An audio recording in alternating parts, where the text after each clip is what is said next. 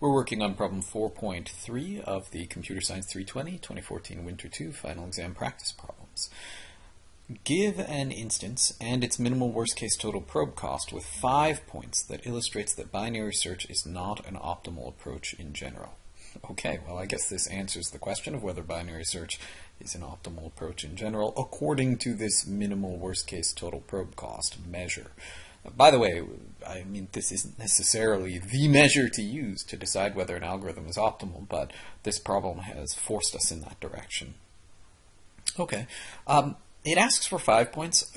Me personally, I, am actually going to start with four points because five points is bigger. I'd rather start with something smaller, see if I can build it with four points. If this were an exam, I'd probably dive straight in with five points because it promises me I'm going to get it with five points. It asks for five points. If I give a four point answer, then whoever's grading me on the exam would be free to give me a zero, although I hope they wouldn't. Uh, but I'm going to treat this more like a, a, problem that I actually want to solve for, you know, the physicists who have some kind of particle, linear particle trap, and they're having me uh, determine something about the properties of the particles that they've trapped in there, uh, as opposed to for an exam. And in that case, I would really want to explore the problem step by step and really understand what's going on. So I'm going to go ahead and have my indexes. I'll just say I now and my values and my costs. And I know I'm going to try an example with four points. And again, I'm using zero-based indexing. I'm not going to fill in the values of the costs yet. Obviously, the values need to be sorted in increasing order, and the costs are going to have various properties. Uh, but what I really want to think about is what will binary search do, and what might we do to force something different? And actually, the first thing I notice is maybe why this problem asked for five points rather than four, which is, well, what's the first index that binary search will probe? Is it index one or is it index two? Who knows? With five indexes, we know for sure what the first index binary search will probe. Uh, so maybe that's why the problem asks for five. Uh, I'm just going to say it'll probe one first, but I'm going to bear in mind that it doesn't have to. So let me let me just uh, sketch out what the tree would look like for binary search. Certainly over here it'll go here. On the right, who knows? I mean, it might go like this, right? Or it could instead go like this. It could start here. On the left, it's certainly going to go here. There's no question there. But on the right, it could go here next instead. Okay. And the mirrors of that are all also possible binary search patterns. Binary search is, is pretty vague uh, at this point. Um, but let's see. Are there any interesting properties? Um, well, we know the worst case cost is going to be at the leaves. As, as long as costs are non-negative, we can always go to the leaves. If we allow costs to be negative, then the worst case cost may not be at the leaves. Uh, let's just check quick if we're assuming non-negative costs. It says it says nothing about whether costs have to be positive. But you know what? I'm going to say that costs have to be non-negative. Here's going to be my argument for non-negative.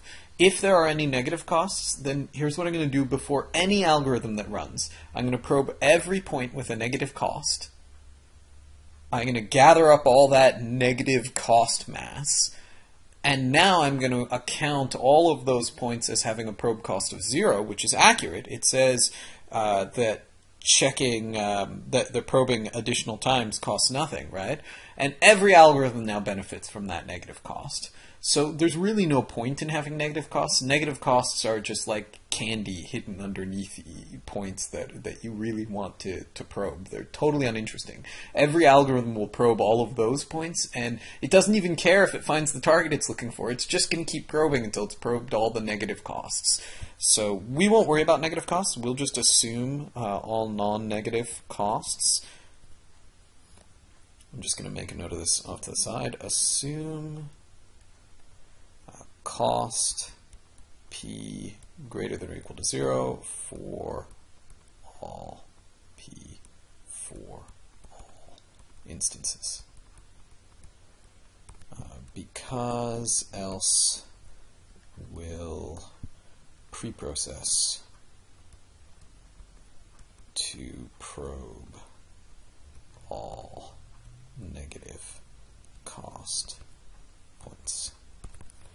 Okay, so That's a that's a safe assumption, and it's safe precisely because we've pointed out that it really doesn't matter if the cost of any points are negative.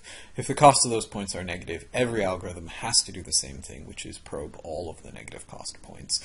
And then it's still stuck with the same problem that we have to solve right here. So the version with negative costs reduces to the version without negative costs. So back to this. We know the costs are non-negative. That also means we know that once we have one of these trees, like the trees that we have up here that we drew for binary search, we really only have to pay attention to the leaves in the trees because the leaves will be at least as expensive as their ancestors. And so the worst case node will be one of those leaves. And that means that we're either going to probe both of these points or we're going to probe all three of these points in the top figure. And in the bottom figure, we're either going to probe both of these points, or we're going to probe all three of these points. And you notice what's interesting here is, regardless, we either probe both of the left points or all three of the right points. Okay, so one or the other of those is going to be worst case. And if we mirror these, we end up with the same sort of thing. So what binary search is going to do on a four-point example is it's basically going to look for what's what's the cheapest, the left two points or the right three points. Uh, sorry, what what's the cheapest worst case, dividing up into the left two points and the right three, or the right two points and the left three. Okay, and that decision will be based on do we use index 1 or index 2 as the first point. So maybe we can have a probe pattern that kind of jumps across. Maybe maybe that'll be better somehow. Like what if what if we make a tree? I'm going to draw my tree down on the bottom now since I don't have space up above. What if we make a tree that starts not at 1 or 2, but at 0 or 3? And again, those are symmetric, so I'm not going to worry too much about which it starts at. So I'm going to have it start at 3. Now, what's left at that point, we're going to be forced to go to the left, right? Because if we find what we're looking for at index 3, or if what we're looking for has a value larger than what we find at index 3, that's clearly not the worst case. We could make our algorithm do worse by forcing it to go to the left. Uh, but if we do go to the left, we're left with three points, and what we said up in the previous problem was with three points, binary search really is the best strategy. So we can fill in the rest of our tree very easily. It has to binary search through the rest of the points. That in itself is interesting, by the way. As soon as we've broken down into a subproblem that's of a shape that we're familiar with, we can use the solution we created for that familiar subproblem to solve the whole problem. And those words should be tickling certain ideas in your head from our algorithms course. There, there's something familiar about that idea of breaking a problem down into subproblems and optimal solutions to the subproblems building up together to create optimal solutions to the overall problem.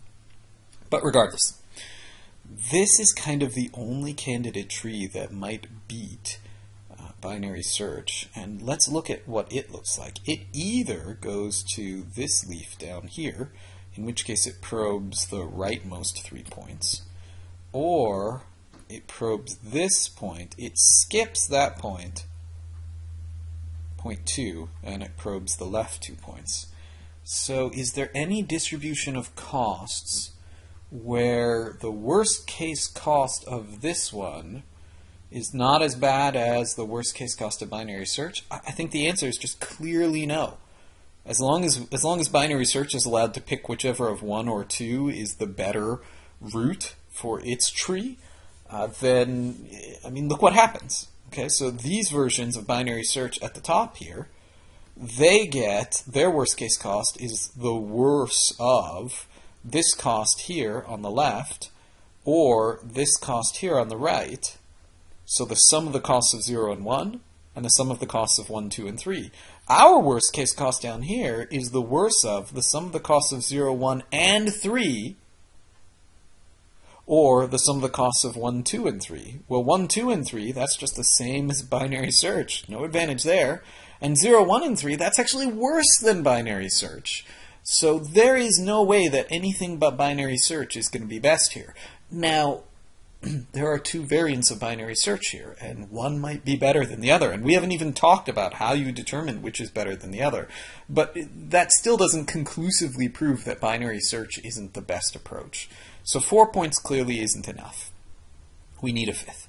So let's put in five points. And I'm just going to put in the indexes first. 0, 1, 2, 3, 4. And then I'm going to start drawing these trees. Now binary search we know is going to start here. And then we saw up here, uh, it doesn't really matter whether, you know, it zigs and then zags or whether it zigs and then zigs again.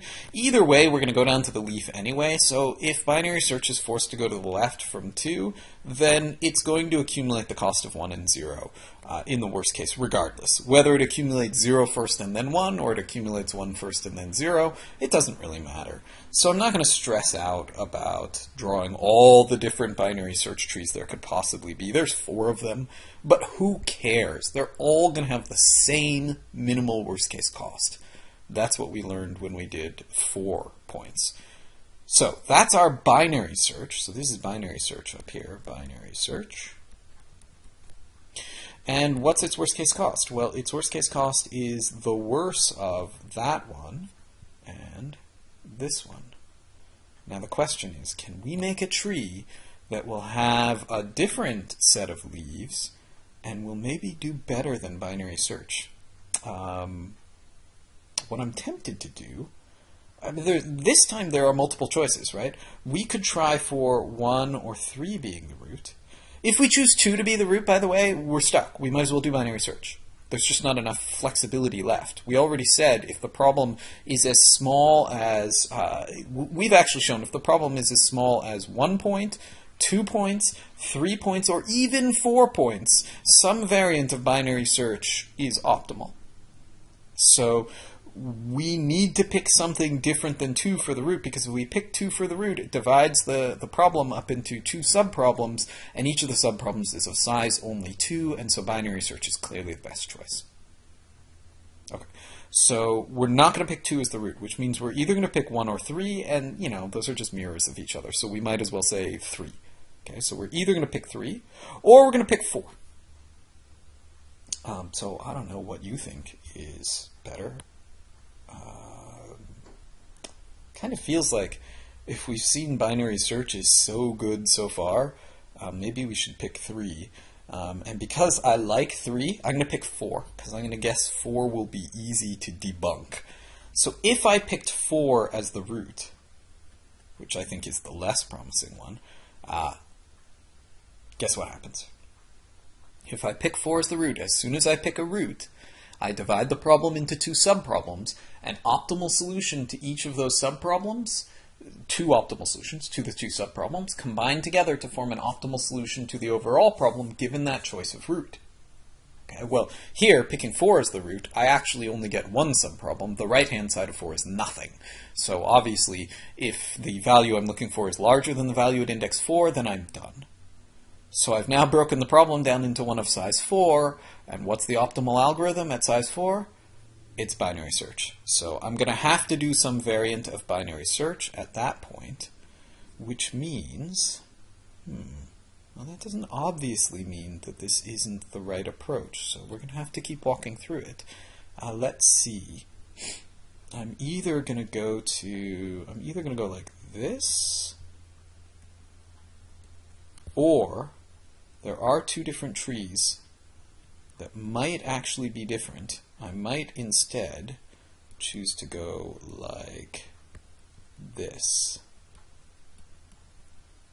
Now again, along um, along this branch here and this branch here, it doesn't matter if we zigzag or zigzag. We already figured that out before. Since we're going all the way down to the leaves, all that matters is we'll accumulate the cost for both of those nodes.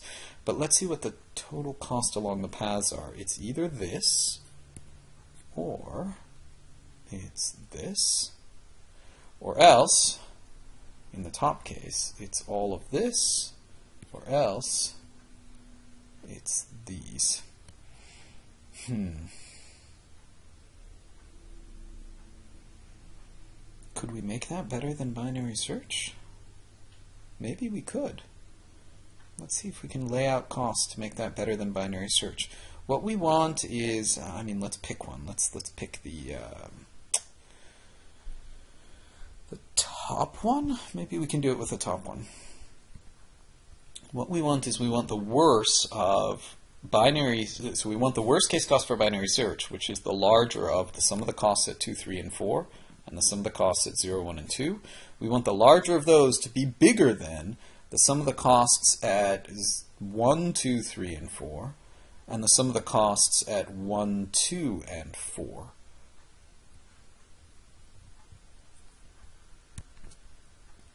Well, clearly we don't want the sum of the costs at 2, 3, and 4 to be the worst one for binary search. If it is, we've got the costs of 2, 3, and 4 collected up in here, plus some more, um, so our, our new algorithm is just going to be worse than binary search. So for binary search, the, the bad side has to be the left side. It's got to be the 0, 1, 2 side. That's got to be higher cost than the right. Um, and then we have to make it so that although this is higher cost than this, um, this, let's see, down here, the higher of the two costs is smaller. Let's just try something out to make it higher cost on the left. Let's make it 10, 10, 1, 1, 1. Okay, so now the left is higher cost. Now down here, our costs for this tree right here would be 10, 11, 12, 13 for the yellow path.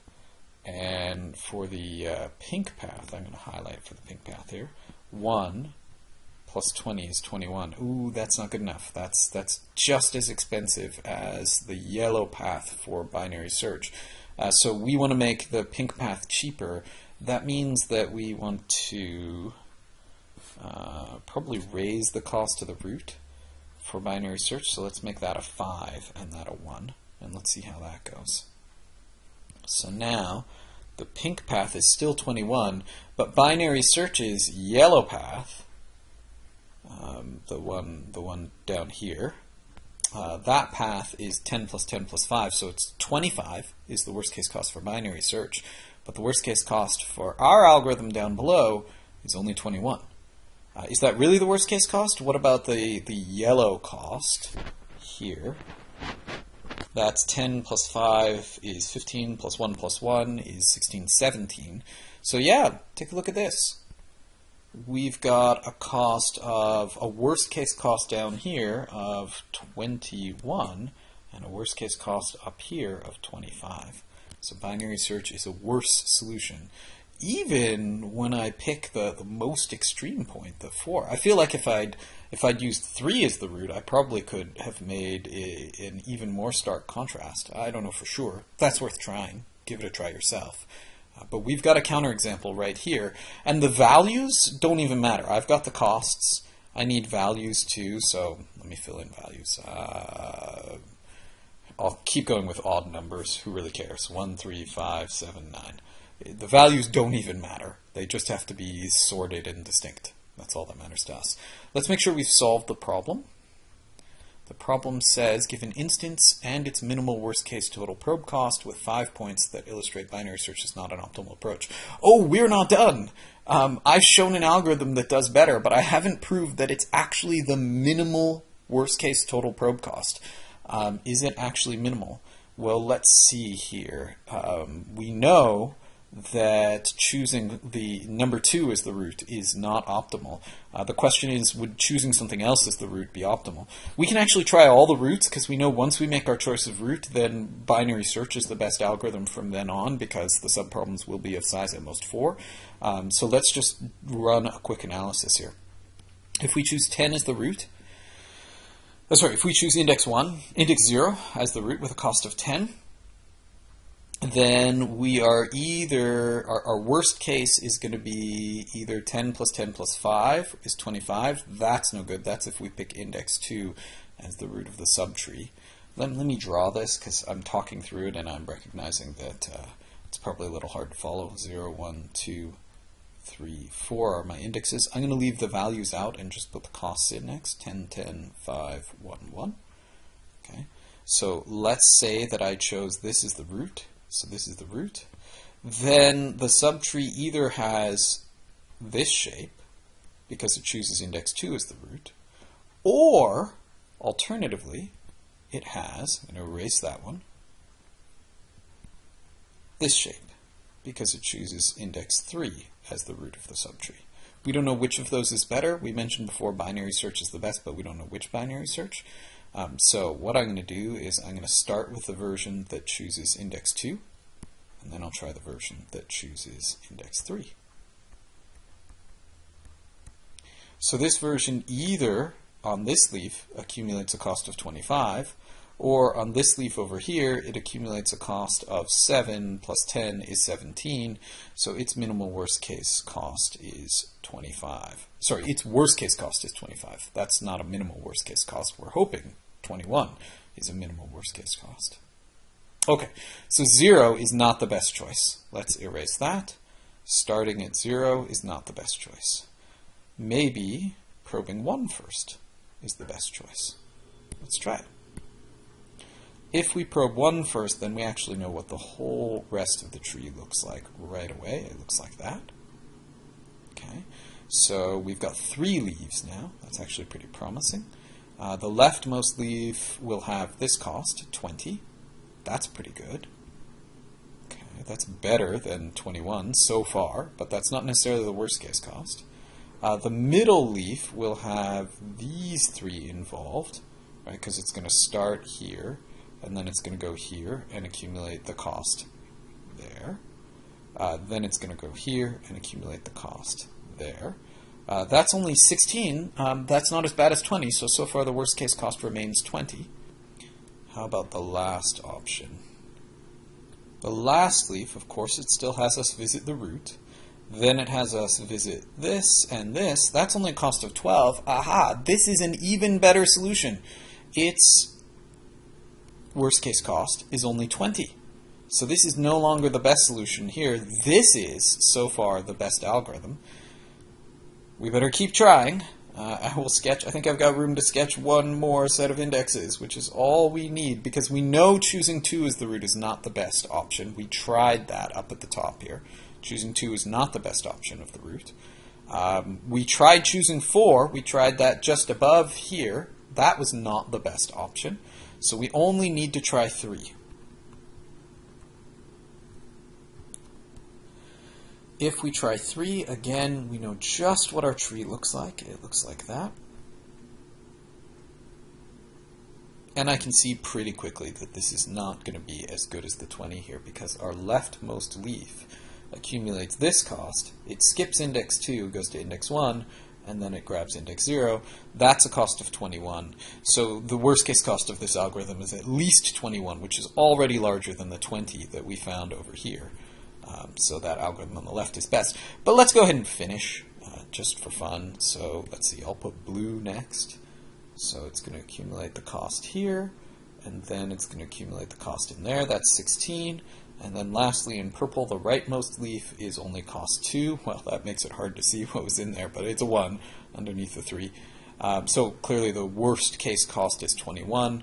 So we can, we can annotate both of these as 21. And neither one of these algorithms is the best. This is the best algorithm.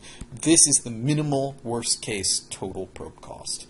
And this is our instance. I left out the values, so let me put those in. Index cost values are, and again, the values do not matter as long as they're legal.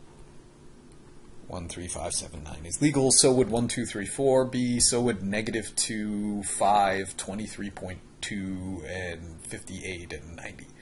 Whatever you want to choose. Now, if you were watching really carefully, you probably noticed that I skipped some things. Uh, you may not have. Uh, I had to go back and re-watch and double-check my answer to notice that I'd skipped some things. Uh, what I had skipped, uh, for example, uh, check out this tree right here. Uh, I never double-checked that that tree didn't give me an even better worst-case cost. It turns out that it doesn't. and we can actually tell that it, it definitely won't do any better than binary search because you can see that it, in the pink, gets the total of indexes 2, 3, and 4. And binary search has that as one of its options as well. And in the yellow, it gets the total of 0, 1, and 2, and 4. Okay. And binary search only has the total of 0, 1, and 2 on the left. So that approach can't possibly be better than binary search, regardless of what the costs are. Unfortunately, the spot where I skipped something else used to be over here, and I deleted it. Uh, that's when we tried 0 as the first index, and you remember I mentioned there were two possible subtrees for the remaining four indices after we'd probed 0. One of those subtrees had 2 as the root of the subtree, and one of them had 3. I only actually tried the one with 2 as the root of the subtree. It turns out the one with 3 as the root of the subtree does even worse than the one with 2 as the root. And what we can what we can do to see that is if you start with 0, and then you're going to accumulate the cost at 3. You're also going to accumulate the cost at 2 and 1 because you're going to be forced in the leaf to in the leaf case to look at both of the things to the left of 3 after you probe 3 if the target value forces you onto that side. And so you're going to sum up all the costs of 0, 1, 2, and 3 and that's 26. That's actually the worst we've seen so far. So that is not a good algorithm at all. So we did come to the right conclusion. I'm sorry that I, I skipped a couple of points in coming to that conclusion. Uh, hopefully, you would go over and check your work and see that you skipped things uh, just like I did. My apologies.